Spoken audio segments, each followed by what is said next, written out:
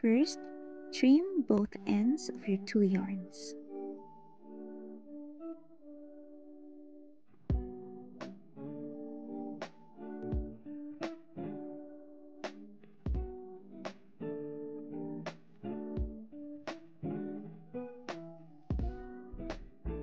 After trimming, you will see this plastic thing at the center of your yarn.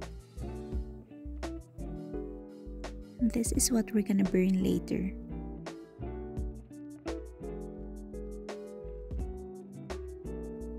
Next, I'm going to trim the end of my other yarn.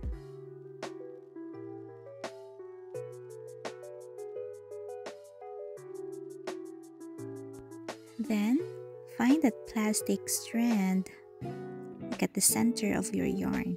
It's right here. Once you trim your yarn, you can clearly see this plastic string right here.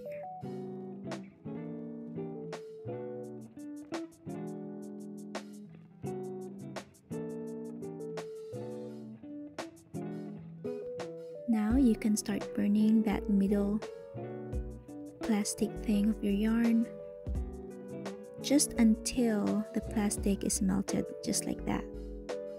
I'm gonna do the same to the other yarn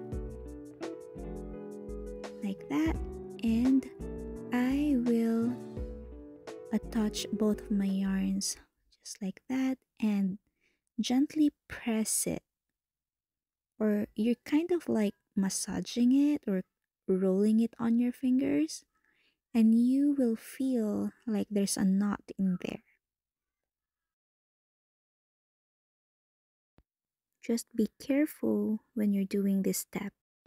Now it's time to do the stress test by tugging our yarn. Just like that. If it unravels, just go back to step 1.